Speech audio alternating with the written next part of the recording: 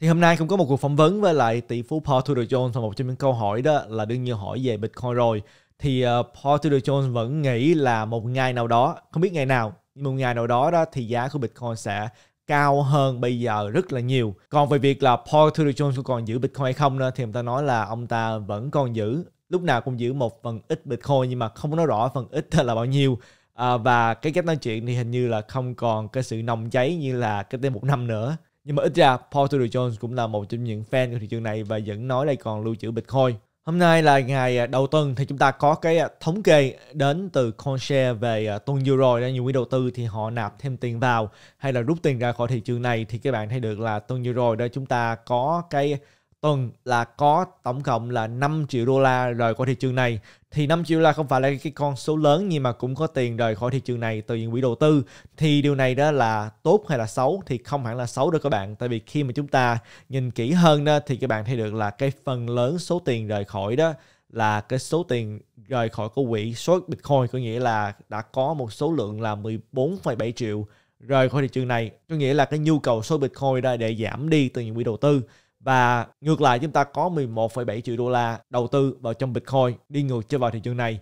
Và net á, cộng trừ hết tất cả chúng ta thấy được là net là âm 5 triệu nhưng mà phần lớn là rời khỏi quỹ short Bitcoin. Và đây là cái tuần thứ tư liên tục mà chúng ta có cái số lượng tiền đổ vào trong quỹ đầu tư Bitcoin tổng cộng là 12 triệu không phải là con số lớn lắm nhưng mà ít ra đây là con số liên tục 4 tuần cho thấy được là có một số quỹ đầu tư họ đã đem tiền trở lại thị trường này và thu mua Bitcoin ở những mức như vậy là bây giờ. Chúng ta bây giờ chuyển qua nói tới một cái à, thông tin khác đi. Các bạn thấy được là có một cái tin khá là đáng tiếc. À, đối với nhiều người đó chính là Celsius theo thường hiểu là đây là một cái văn bản mà họ phải tạo ra để mà nạp cho tòa án đó là danh sách những khách hàng của họ và còn bao nhiêu tiền ở trong Celsius tại vì chúng ta đã biết là Celsius đã khai bảo vệ phá sản rồi. Nhưng mà cái danh sách này đó thì họ để nguyên tên luôn và họ để tên cùng với lại cái số lượng tiền còn lại trong Celsius. À, và cái thông tin này đã bị leak ra ngoài đã bị người ta đem ra ngoài và đã có một trang web thường chia sẻ trên những mạng so với các bạn là celsiusnetwork.com thì uh, trên trang web này các bạn có thể uh, tìm kiếm bất cứ tên người nào ở trên cái danh sách này mà có chuyên mục Celsius coi coi là họ còn bao nhiêu tiền ở trong Celsius. Thì chúng ta có thể nhìn thấy được là bên dưới này đó chúng ta có à, một trong những người mà khá quen thuộc đó chính là Simon Dixon. Thì Simon Dixon đó là một trong những người mà đang à, dẫn đầu nhiều cái cuộc à, đấu tranh đòi lại công bằng cho những cái nạn nhân à, của Celsius. Thì bản thân Simon Dixon cũng có 10,5 triệu đô la mà tôi nhớ Simon Dixon đó, trước đây nghĩ mình là người mà có số lượng tiền nhiều nhất cạc ở trong Celsius nhưng mà không phải đó các bạn. Chúng ta có những người như là xếp hạng một á, Jacob Benjamin Fitch. Người này à, có tới 40 triệu đô la nằm trong Celsius rồi các bạn. Con số rất là lớn luôn và chúng ta thấy được là chúng ta có người thứ nhì tới 38 triệu luôn các bạn. Đương nhiên đây là những điều đáng tiếc tại vì số tiền này ra không biết họ có thể lấy lại được bao nhiêu. Và cũng có nhiều bạn nói là chúng ta cũng thấy có nhiều tên à, người Việt Nam giống như là bạn này tại vì không có dấu cho nên thuần chỉ có thể à, đọc sơ mà thôi có thể là văn lọc truyền. À, thì à, bạn này có tới 7 triệu đô la nằm ở trong Celsius lận. Đó là người đứng hạng thứ 25. Chúng ta có bạn Lý Hoàng có tới 5,1 triệu nằm trong Celsius hiện bây giờ. Và chúng ta có Phạm Khải Trinh có tới 5 triệu đô la nằm trong Celsius. Tuy nhiên không có dấu cho nên Thuận chỉ đọc đại khái mà thôi. Hy vọng là Thuận à, không có đọc cái tên quá sai nhưng mà cho chúng ta thấy được là có rất nhiều người thật sự có rất nhiều tiền đang bị giam ở trong Celsius và khả năng họ còn thấy được bao nhiêu thì rất là khó nói. À, hy vọng là chúng ta thấy được phần nửa số tiền này hoàn trả lại cho những cái nạn nhân. Nhưng mà cho các bạn thì là thật sự rất là nhiều người à, lưu trữ rất nhiều tiền ở trong uh, Celsius. Và đương nhiên có nhiều bạn uh, cũng sẽ đi tìm kiếm tên đó chính là tên của Thuận tại các bạn đã biết là trước đây thường cũng đã dùng Celsius. Thì uh, thật ra Thuận cũng mới biết là Thuận còn 141 đô ở trong Celsius tại vì à, uh, Thuận đã rút hết rồi. Vì bạn đã nhớ là trong cái video à, uh, 1339 part 3 uh, đăng khoảng chừng 12 giờ trước khi mà Celsius ngưng chưa rút tiền đó thì trong video này Thuận đã chia sẻ với các bạn là Thuận đã rút hết tiền ra khỏi Celsius. Tại vì uh, lúc đó đó không phải là à, vì một cái à, thông tin riêng lẻ nào mà là Celsius có quá nhiều phết lúc đó và có quá nhiều tin đồn không biết thật hư ra sao nhưng mà thường cảm thấy là có nhiều cái sự lo lắng cho nên à, đã thông báo các bạn thường à, đã rút hết ra từ Celsius cái à, sáng ngày hôm đó. Và lúc đó là cái sự kiện liên quan tới STE bị mất pack ấy, như bạn cũng đã nhớ rồi. Đó là cái video 1339 thuận đăng 12 tiếng trước khi mà Celsius ngưng không chịu rút tiền thì đây cũng là một cái sự may mắn thôi các bạn. Các bạn cũng nên nhớ là sau cái hiện tượng của ờ, Luna đó thì ngày 30 tháng 5 đó à, Thuận đã chia sẻ với các bạn là Thuận ờ, bắt đầu hơi lung lay cái lòng tin với những cái nền tảng như là BlockFi, Nexo, Celsius vân vân. À, đương nhiên các bạn thì rồi cuối cùng thì BlockFi, Nexo cũng không có vấn đề gì nhưng mà lúc đó Thuận đâu có biết đâu các bạn. Thuận chỉ mất cái à, lòng tin nói chung mà thôi. Cho nên à, Thuận đã bắt đầu nói với các bạn là Thuận sẽ bắt đầu rút hết à, tiền ra từ những cái mảng đầu tư này bắt đầu từ uh, cuối tháng 5 thì nhiều bạn cũng comment bên dưới nói là có phải thuận là bắt đầu lo sợ rồi hay không? Có thể là cái người bolus cuối cùng đã trở nên bearish hay không? Thì có phải đâu các bạn vấn đề là kiếm tiền trong thị trường tài chính đã khó rồi giữ tiền còn khó hơn nữa. Cho nên uh, chúng ta cần phải trước hết là biết bảo vệ tài sản của mình. Cho nên những gì mà thuận chia sẻ với các bạn đó đó chính là những cái kinh nghiệm mà thường rút ra được từ nhiều cái sự kiện khác nhau mà thôi chứ không phải là những cái quy định mà thường tư đặt ra cho bản thân của mình rồi thường chia sẻ với các bạn hàng tuần đó là chia sẻ cho vui đâu. Đây là những cái quy định mà thường rút ra từng đợt từng đợt một. À, giống như là các bạn thấy được đừng tin ai tự tìm hiểu từ giữ crypto nhớ chút lời phân bổ vốn không vay mượn zoom out đầu tư dài hạn tất cả những cái chữ các bạn nhìn trên màn hình đều là những bài học rất là đáng giá mà thuận nhớ hoài luôn cho nên thuận chỉ có thể là tự nhắc nhở bản thân mình hàng tuần mà thôi. Cho nên thuận mới chia sẻ những thông tin này với các bạn. Và các bạn đầu tư đủ lâu đó thì các bạn sẽ gặp những trường hợp như thế này. Nó rất là khó tránh các bạn. Có thể là nhiều bạn nghĩ là thuận giỏi. Cho nên à, thuận mới có thể là tránh được cái sự kiện lớn của năm nay là Luna UST và tránh khỏi sự kiện lớn thứ nhì, đó chính là sau sự bị phá sản hay là Voyager bị phá sản, nhưng mà không phải đâu. Một phần là may mắn đó các bạn. Dù thường chia sẻ đó, các bạn cần phải phân bổ vốn các bạn cần phải tìm cách tự giữ crypto của mình. Kiếm tiền thị trường đầu tư đã khó giữ tiền còn khó hơn. Phân bổ vốn cực kỳ là quan trọng. Nếu như các bạn đầu tư đủ lâu đây thì các bạn sẽ gặp rất là nhiều những trường hợp như thế này.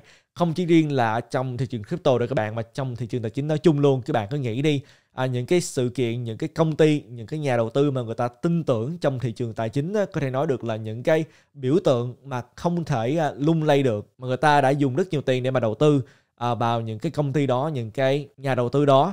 Giống như chúng ta nói tới là Enron chúng ta nói tới Bernard Madoff đây hoàn toàn là những công ty những nhà đầu tư mà ở thời điểm đó đó người ta hoàn toàn tin tưởng rất là nhiều những nhà đầu tư thông minh hơn mình rất là nhiều à, đã phải vấp phải rồi. Tại vì rất là khó để các bạn có thể tránh khỏi 100% cho nên điều quan trọng đó là phân bổ vốn. Tại vì sớm muộn gì các bạn cũng sẽ gặp một cái dự án một cái công ty một cái người nào đó các bạn cảm thấy là cực kỳ tin tưởng nhưng mà cuối cùng à, lại cực kỳ sai lầm. Và điều quan trọng hơn đó không phải là các bạn à, tránh khỏi tất cả các cú đấm mà điều quan trọng hơn đó là các bạn bị đánh gục ngã nhưng mà vẫn có thể đứng dậy được. Và điều đó chỉ có thể xảy ra khi mà các bạn vẫn còn sức mà thôi.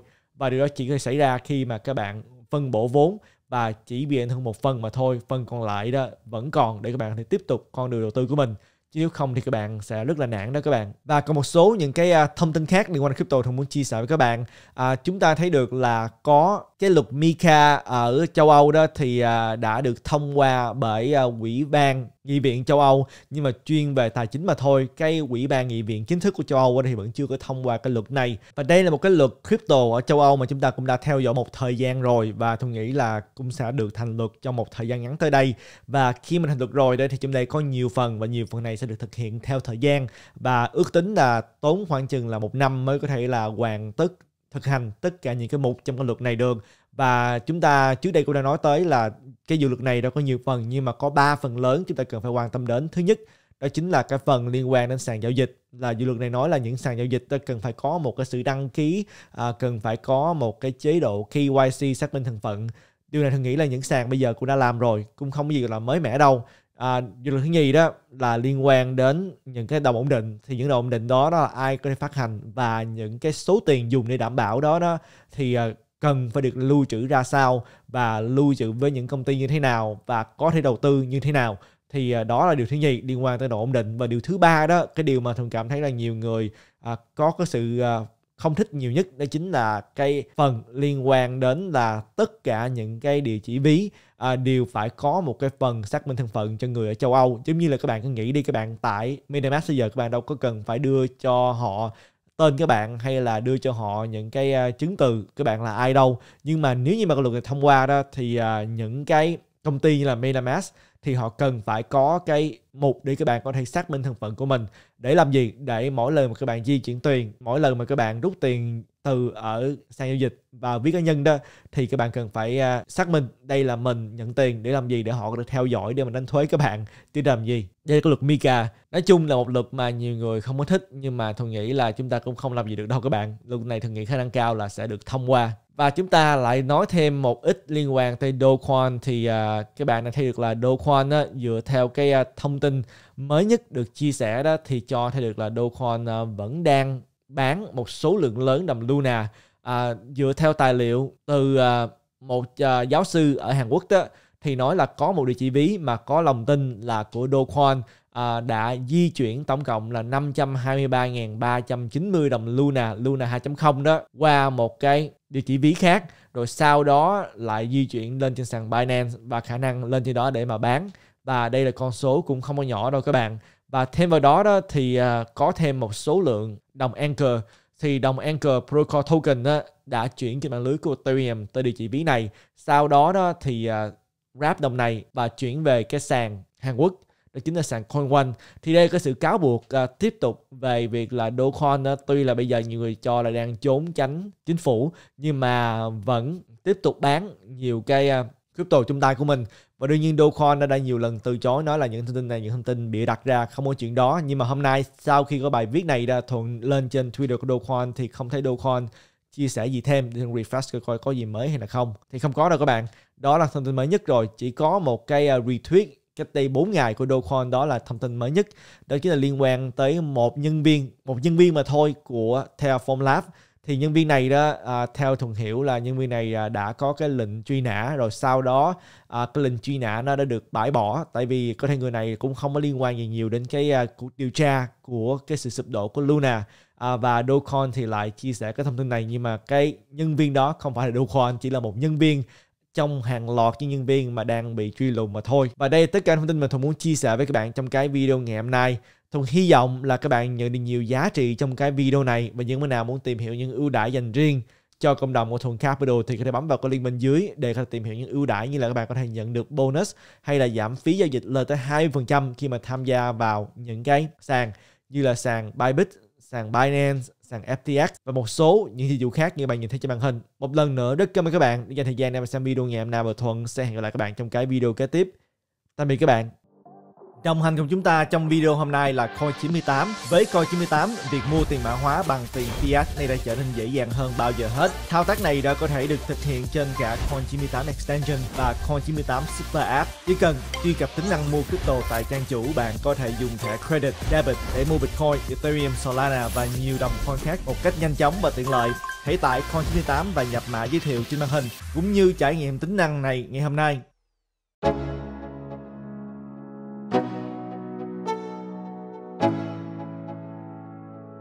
Go.